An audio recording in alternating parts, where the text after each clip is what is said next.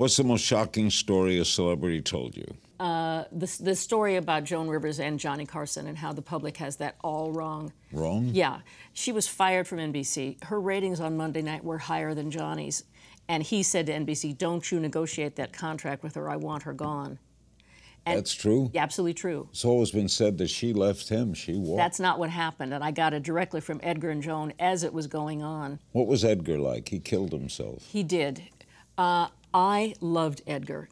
If uh, Edgar had been single, I would have married him. That's how much I loved Edgar. And Melissa knows that to this day and goes, Oh, you could have been my stepmother.